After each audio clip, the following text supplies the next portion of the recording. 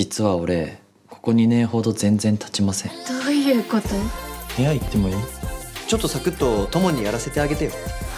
智也の魂を理解できるのは私だけだし智也の運命の相手は私だから。寺田さんあのさ今日の夜一緒に寝てくれない？このままだと私お願いされたら断れない女になってしまう。ふかかこじらせ大人のシェアハウス。変化した。本業の本業が。